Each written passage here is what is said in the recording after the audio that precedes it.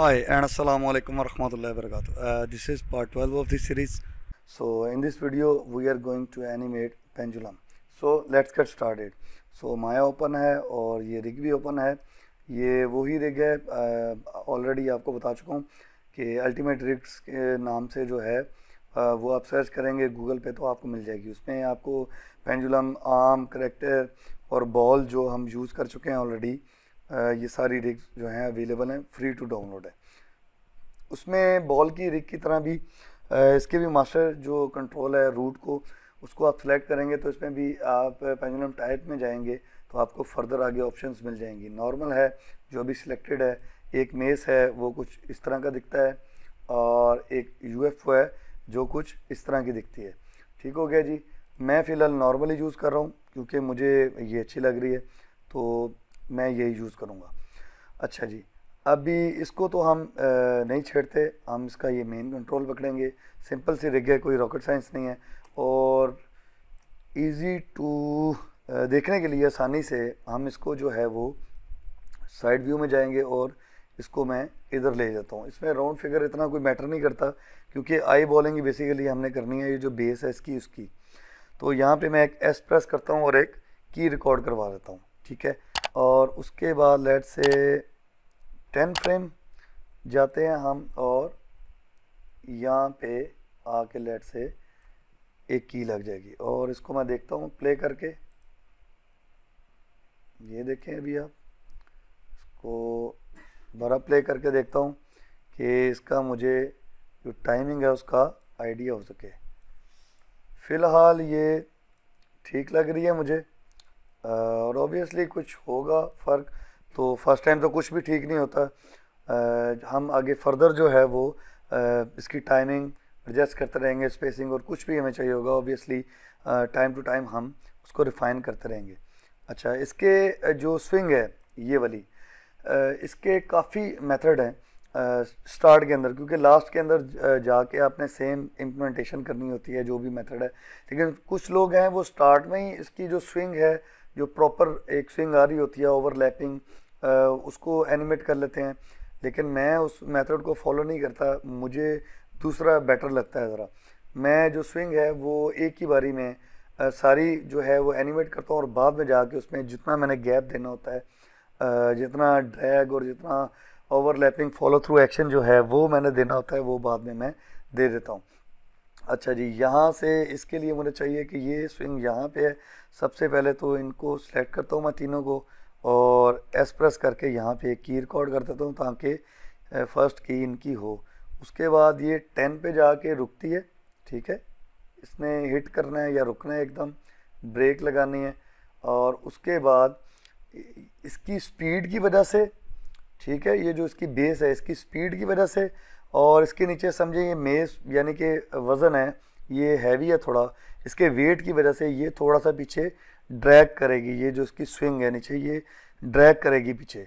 ठीक है? तो इस वजह से ये टेन पे जब जाएगा, मैं ई e प्रेस करूँगा और इसको मैं यूँ कर देता हूँ, ठीक है? और इसको जो है, मैं राउंड फिगर नहीं करूँगा और ये भी नहीं चाहूँगा कि नेक्स्ट जो फ्रेम है, वो एग्जैक्टली इधर थर्टी सेवन है माइनस तो वो प्लस थर्टी सेवन हो, क्योंकि मैं खुद चाहता हूँ कि इसमें थोड़ा सा जो है वो चेंजिंग हो इसकी। ठीक है, ये देखें, ये अब आगे जा रही और ये पीछे ड्रैग कर रही है, ठीक है? और उसके बाद लेट से मैं टेन फ्रेम और आ जाता हूँ आगे और इसको मैं इधर कर लेता हूँ एनिमेट लेट से थोड़ा कम, ठीक है? और मैं सिर्फ़ आई बॉलिंग कर रहा हूँ और मैं टेन फ्रेम पे ही चल रहा हूँ, ठीक है? और इधर आता हूँ, थोड़ा और कम कर देता हूँ। उसके बाद मैं फिर टेन फ्रेम पे जाता हूँ। बाद में इसकी मैं टाइमिंग देखूँगा और इसकी जो स्पेसिंग है वो चीज़ें मैं बाद में देखूँगा। और इधर आ जाता हूँ। यहाँ से मैं एक चीज़ देखूँगा कि पिछले फ्रेम में 22 और लास्ट ये इतना कोई ज़्यादा काम ना हो जाए।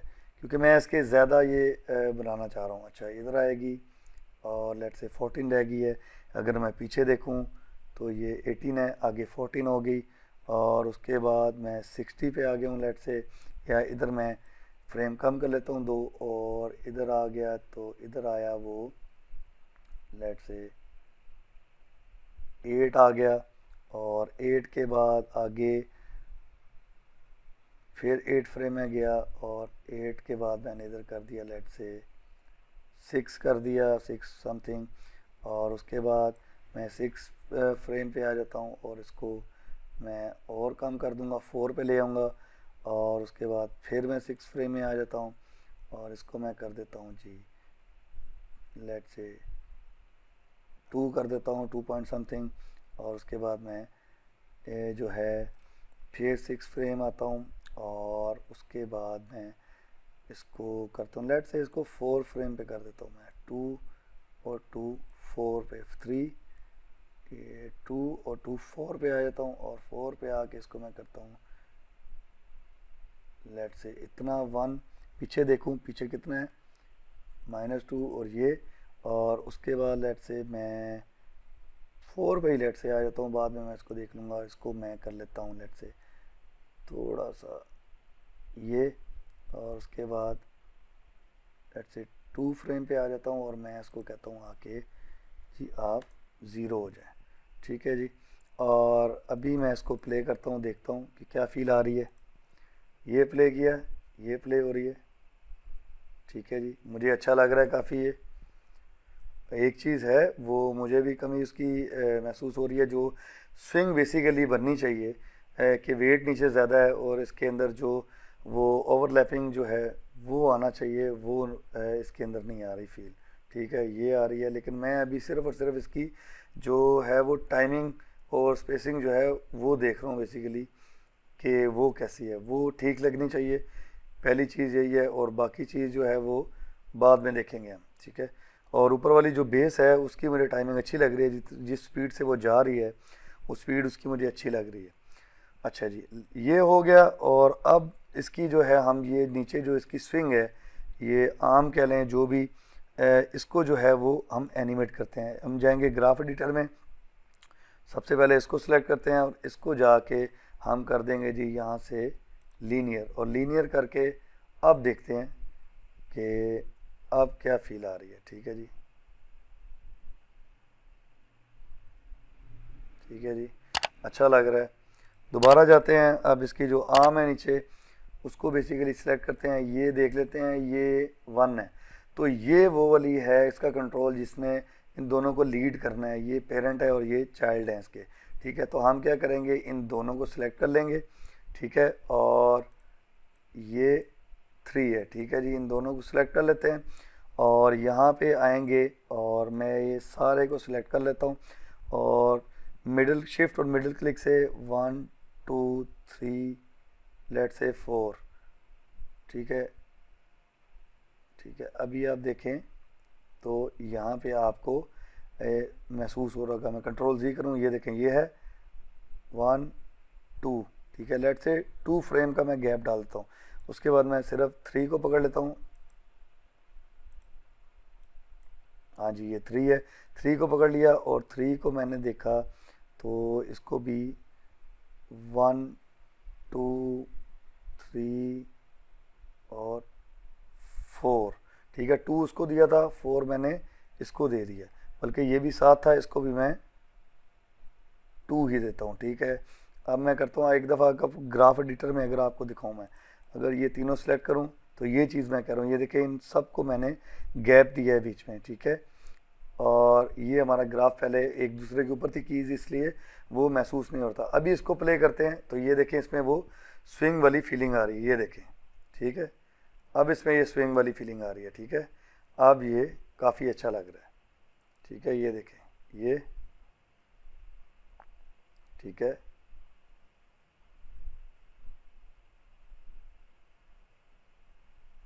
ये देखें, ठीक है।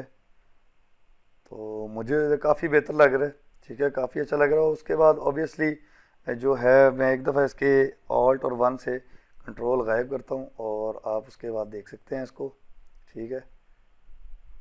ये हमारी स्विंग की जो है वो एनिमेशन है पेंजुलम की, ठीक है? और मुझे तो ये अच्छा लग रहा है काफ़ी, ठीक है? लास्ट पे जो ये वाली चीज़ है ना, ये ये काफ़ी अच्छी हो गई है। ये ये वाली, ठीक है? ये जो थोड़ा सा इसमें ओवरलैप होता है ना, ये देखें, ये ये जो लास्ट वाली है ना, ये उसी तरह ही रुकनी चाहिए, जैसे रुकती है। हम जाके इसको वेट दे सकते हैं, जैसे हमने बाउंसिंग बॉल में हमने टेंजेंट अपना सेट किया था ना उसमें इसको थोड़ा वेट दे सकते हैं ताकि ये जो मूव हो, ये उस हिसाब से हो। लेकिन हमें ये भी अच्छी लग रही है तो इतनी कोई ख़ास ज़रूरत नहीं है अभी फ़िलहाल। मुझे महसूस नहीं हो रही, क्योंकि जो मेरे माइंड में था, उसके अकॉर्डिंगली तो ये ठीक है। डिफरेंट इसकी ऑप्शंस हैं। उसके साथ भी इसको देख लेते हैं एक बार। इसका मेन कंट्रोल ये सिलेक्ट करते हैं। लेट से इसको मेस है। मेस के साथ देखते हैं कंट्रोल गायब करके। तो ये देखें, ठीक है जी? और इसको दोबारा प्ले करते हैं, ये देखें। ठीक है जी? ये मेस हो गया आपका। और उसके बाद इसको सिलेक्ट करते हैं, इसको मैं पॉज करता हूँ। और लेट से यूएफओ में आते हैं और इसको मैं स्टार्ट में जाता हूँ। कंट्रोल हाइड करके इसको प्ले करते हैं, ये देखें। ठीक है? लेकिन विजुअली मुझे जो है, मुझे वो सिंपल वाली जो है पेंजुलम वो अपीलिंग लग रहा था। वो आपकी अपनी चॉइस है इसमें इतना कोई है नहीं ख़ास। तो मैं इसमें सिंपल वाला ही जो है उसी में ही जाऊँगा। ठीक है जी? और प्ले करते हैं जी, ये देखें कंट्रोल इसके गायब कर देते हैं। ठीक है? काफ़ी अच्छा लग रहा है। लेट्स कॉल इट डन और इस वीडियो में इतना ही है। इनशाला नेक्स्ट वीडियो में एक न्यू एनिमेशन के साथ मिलेंगे। तब तक के लिए अपना अपने गिरदनुमा के लोगों का और अपने इस चैनल का बहुत सारा ख्याल रखिएगा। तब तक के लिए टेक केयर बाय बाय अल्लाह हाफिज़